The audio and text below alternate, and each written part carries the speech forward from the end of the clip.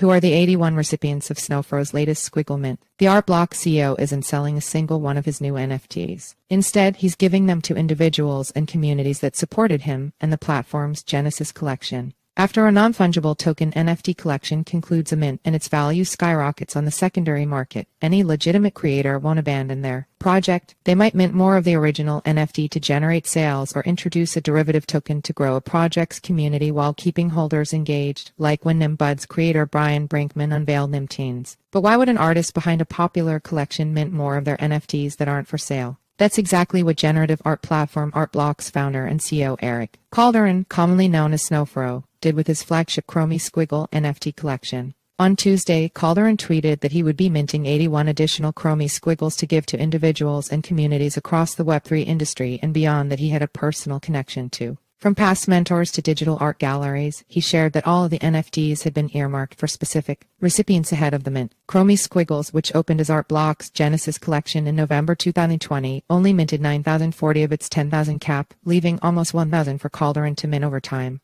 As of writing, there are 9,868 now minted, and the collection has done 69,426 ETH, or over $138 million in trading volume according to data on OpenSea. As he approaches the collection's cap, Calderon told CoinDesk he is driven to give back to the many collectors and artists that have supported him in the past two years. With the floor price of a squiggle hovering just over 10 ETH or almost $20,000 on OpenSea as of writing, this is no small gesture of appreciation. This is the final opportunity for a squiggle to be used in service of recognizing the community members and friends who have supported Art Blocks in a meaningful way, said Calderon. It feels like the right conclusion for this project. Ahead of the mint Tuesday night, Calderon tweeted that he would generate the squiggles on chain in two separate batches. The first batch of squiggles will be given designated community members and advocates for his career outside of Web3, including his executive coach. There are less squiggles than there are people that deserve them, much less want them, Calderon told CoinDesk. I make a note when someone does something particularly admirable and add them to the list. He also said on Twitter that he is planning to donate 10 squiggles to the New York-based NFT gallery Venus over Manhattan and 5 to decentralized autonomous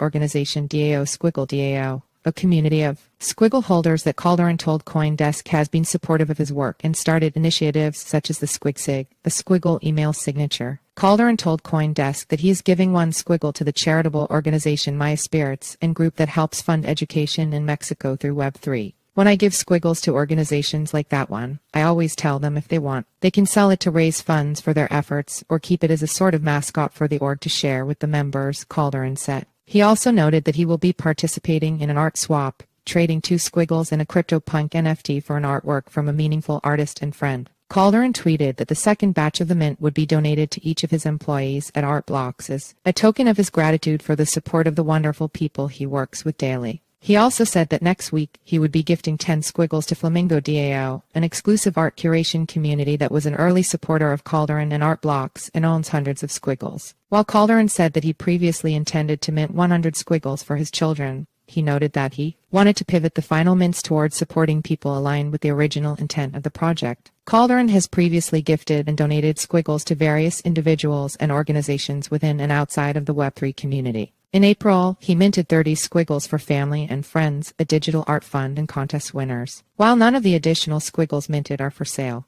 Art Blocks has made efforts to reward its collectors for their participation in its digital art ecosystem in the past. In 2022, artist Alexis André released his generative art friendship bracelet collection, which were free to mint for holders of any prior Art Blocks collection.